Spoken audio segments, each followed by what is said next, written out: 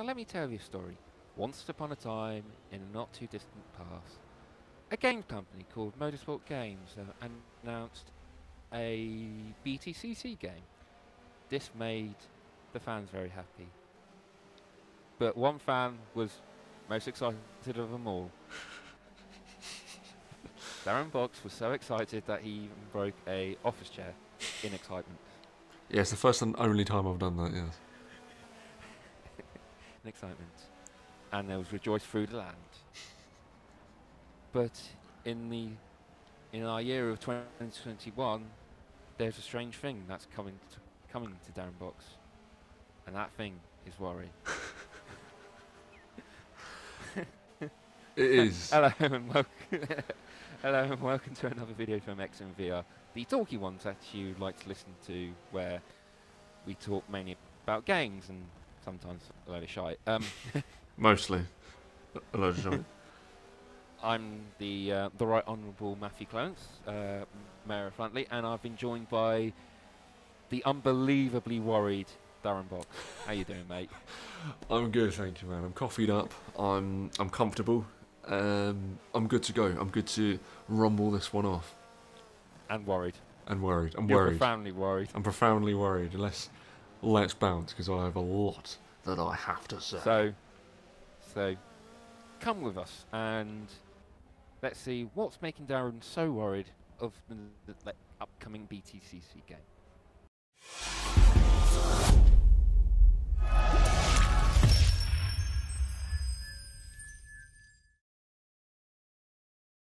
Right, Darren Box, you're right about BTCC. Why are you worried? Well, strap yourself in. There's going to be about 15 minutes of me just talking utter drivel at you.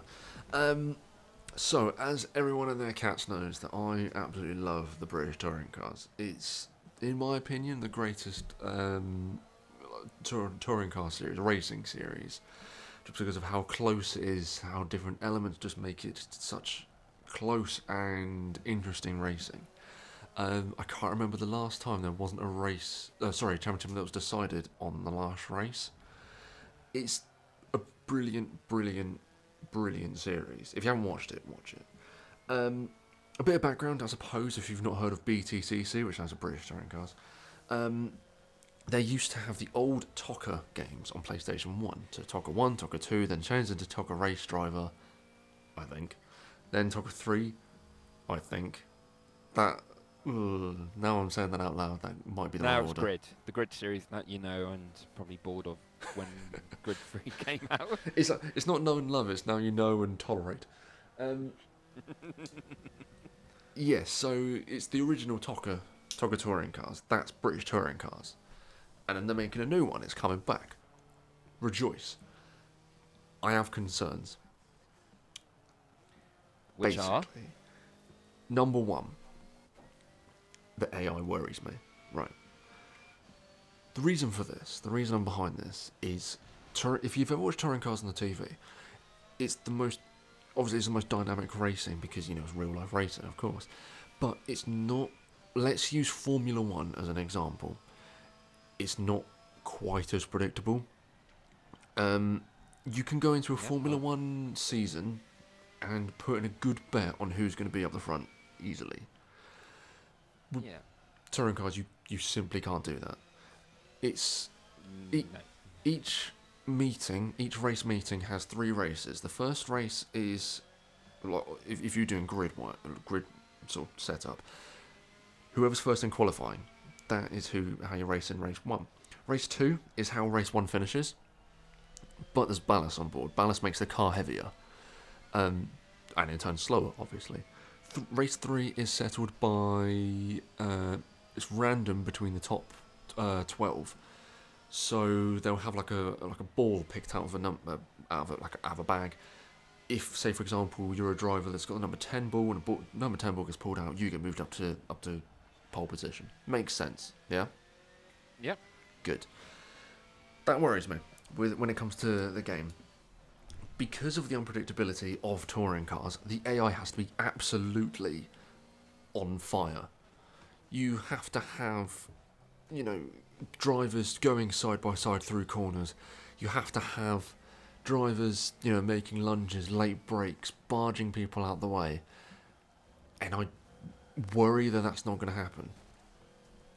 Okay.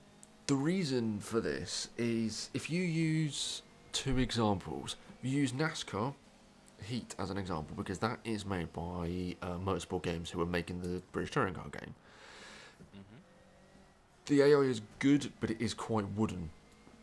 It's it feels a little bit strict path. Mm. The fact that they'll follow in a line and they won't make many attempts to try and overtake each other. If you use Formula One as an example, um, the AI again is very rigid. You could easily see these cars driving in a mm, straight line behind each other and not really attempt to get past each other. Not really. There'll be a few attempts, but there's not many. With touring cars, it has to be there. The AI has to be right. It, it, it worries me because I just feel like you'd you'd jump into it and you'd win every single race, which that's not what touring cars is. You'd be you you'd be hard pushed in a 30 race season to win three, four races. Yeah, that's usually the norm in touring cars because I don't think I can remember anyone getting even like double figure w- wins in a season. No, it's like if you, you use oh, some examples straight off my head. Um, in the 2016 season, um, going into the last race, Colin Turkington won four races out of the 30, and he didn't win the championship.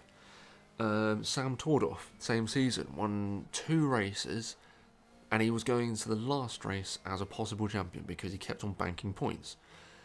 You can get like um, what season was it? 2019, possibly, where Colin Turkington won the won the championship, didn't win a race all season. Um, and that's because you're banking points. You you you're not. They're not flying past people. They're banking points and having good battles. You want to have good battles of people down, you know, in 15th for the last point because you know it's necessary to that battle and the AI is just the biggest concern for me because if it's wooden and if it's stiff, and if you're able to win every single race, then it's not doing a good enough job. So what you're saying, it needs to be unpredictable. Yeah, it needs to be unpredictable, and the AI have to be as near a touring car driver as you can. It needs to be unpredictable. It needs to make risks.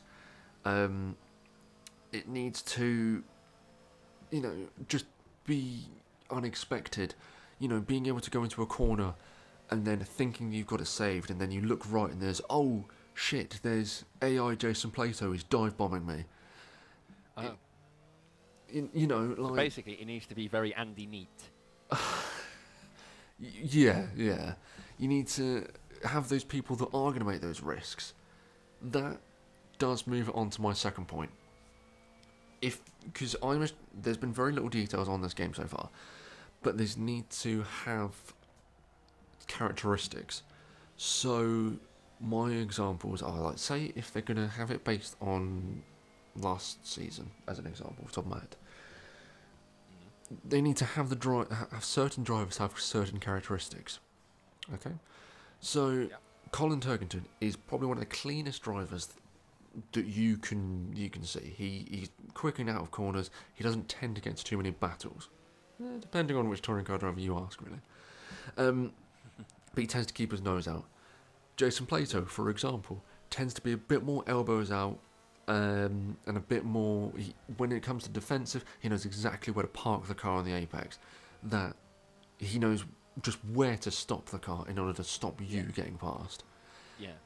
Another example, um, Gordon Shedden knows exactly if you're going to dive bomb. He knows exactly where to put the car on on the braking zone, just to stop that little move from happening.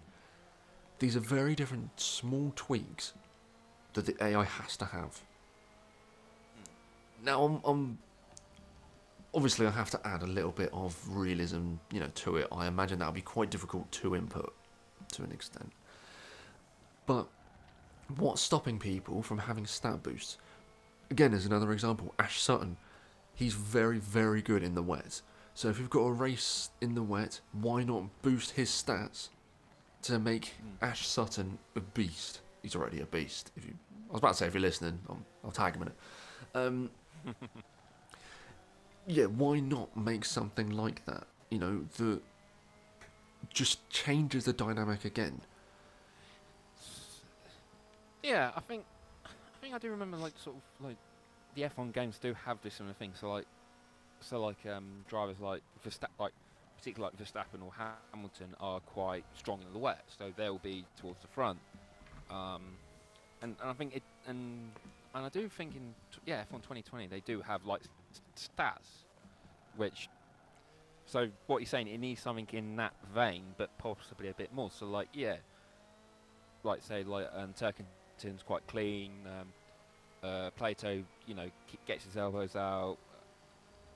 Uh, Such as I say, Neate is just the wild card, shall we say? Um, yeah, like something that's just that if you were going to, like, say for example, if you start a race at last because you know something's happened, um, and you go to try and overtake someone, and you see a name on the back of the car, you know what you're gonna, what type of battle you're gonna have with that car. You don't want to be able to just fly past everyone. You don't want to get in the back of a train where there's, let's say, for example, um, Jake Hill, uh, Jack Goff. Let's say you're trying to overtake both of them. You don't want to just be able to just brake later and then just fly past them. You want to have a little bit of a mental battle, knowing that you know Jack Goff might try and block you on the on the braking line.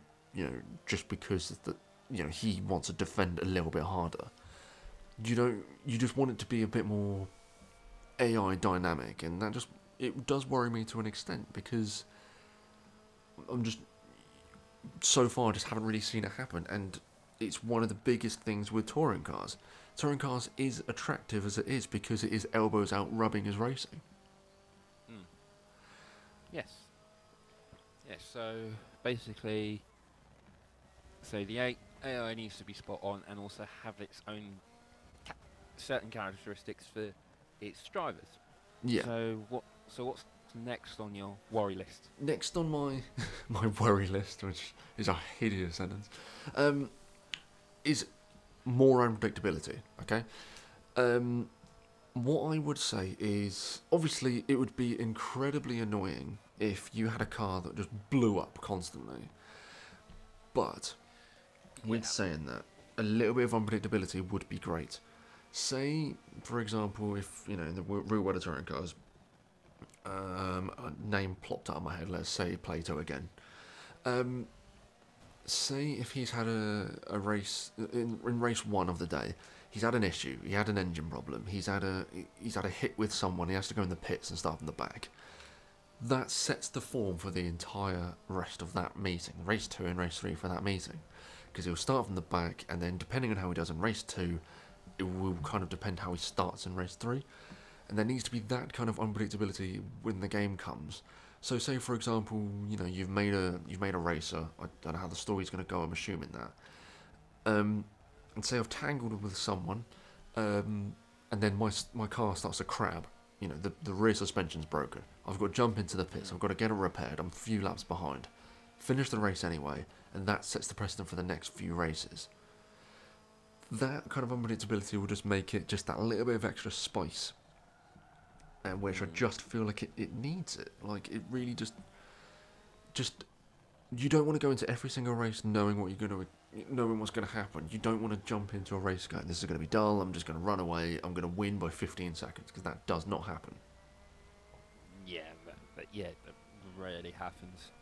But the next on my list is the cars have to feel different. So again, those who don't really follow the touring cars, there's rear wheel drive and there's front wheel drive. Both cars will drive differently. Yeah. Using a addition to that, Isn't each there like all-wheel drive? no, not that I'm aware of, no. Oh, Um, okay. So but each just front and each okay. each car will have ballast in it in, in real world, Yeah. which I hope that, that is bring forward in the game. Now, what I want to see in the in the game is to make the ballast make the car feel completely different because it adds weight to the car. That'll make the car heavier, make it harder to slow down, harder to speed up, heavier in the corners. So, say for example, if you run race one, race one, you don't want to jump into race two and repeat the same thing and run away by like 20 seconds. You want to finish race one, win it, go into race two and be like, right, I'm going to have to go for a different mindset now. Um, you know, this car's going to be heavier. I've got, to, I'm going to have a few cars behind me that are lighter who are going to try and dive and try to take past me. You want every race to present itself as unique little challenges. Okay. Yeah. See- see- that's just kind of to basically go to each race compl- having to go for diff- different tacks. So like race one, okay, go for the win. Race two, maybe a good points finish. Yeah, you want to have each because say for example, I'm assuming that that's how the the game is going to present itself. Like, I'll be weird. I'll be surprised if it doesn't. So there needs to be a unique challenge at every race. So yeah, like you said, race one, go for the win. Race two, damage control. You know, get as many points as you can. Your car will be heavier, so you'll be overtaken a lot more. Um, and then race three can be, you know, you you it's pretty much random. So that can be, you know, a random, a random set of could, random could set challenges. go for a win or okay, get try and get in the points. Yeah, yeah.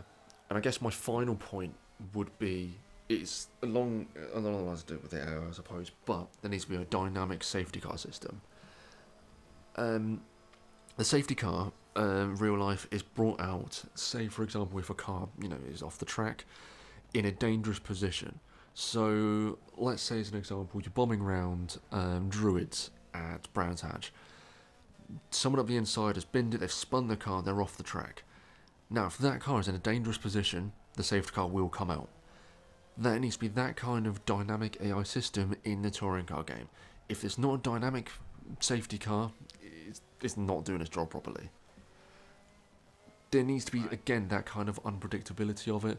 Of, say, for example, you're battling with someone, you've noticed, I don't know, Martin Depper off the track. Um, you there needs to be the oh safety car's coming out now it's suddenly being rushed out it needs to basically in the best way terms think of it the opposite of formula 1 because the formula 1 safety car in f1 2020 is shit it is shit um, so yeah. it, it needs to be the opposite of that because in Formula One, to bring out the safety car, you have to f- pretty much drive into someone, park on the apex, have everyone park behind you, and then it goes, "Oh yeah, shit, safety car. Oh yeah, oh yeah." Yeah, like yeah, I will admit, yeah, like in the F1 games, like the safety car is you you would have to literally kill someone for it to come out. Yeah, and even then, it's virtual safety car. yeah, Yeah, it's it's it has to be dynamic. It has to be within half a lap as well. Of you see there's a car off the track, and then you get through on the radio, safety cars out. It has to be that quickly. Um, there is ways that that can be implemented. Like say, for example, if it's is if it's deemed what part of, you know, a part of a track that could be a danger zone, so like a gravel trap. If a car is stopped there for a serious amount of time for five ten seconds, that could trigger. Mm. I'm aware that implementing something in the video game world, trying to implement, implement something in the real world, has its challenges. I'm aware of that. But there has to be the unpredictability, and that, in conclusion, what worries me about the touring car game. yeah, and actually, uh, and I'm actually going to throw something into the ring here. Ooh, FaceTime. Ooh. It's and, you'll probably agree that it would need to have a dynamic weather system. Yes, absolutely yes. The reasoning behind this um, is that touring cars don't have a mandatory pit stop. So, let's use as an example one of the best races, real life races that me and you have ever watched. Race 2, Brands Hatch 2018, where Indy, I b- the Indy track where the ra- where it just rained and then it was drying up, and half the cars went on dries, and half the car went on wet tires. and midway through the race, well, the race started, and all the wet wet tires, you know, started, and they ran away, and all the dry tires, the car tires, went to the back. Midway through the race, it changed, and all the dry tires just went through and started flying past, and the race was won. Oh, see if I can pluck this out of the sky. Um, oh, I can't remember who won it. No, I'm Senna, I believe. Senna Proctor. Not, not Ayrton. Senna Proctor, not Ayrton. not Ayrton. I think Senna Proctor from Proc- 28th to 1st because of how Yeah. unpredictable the weather was.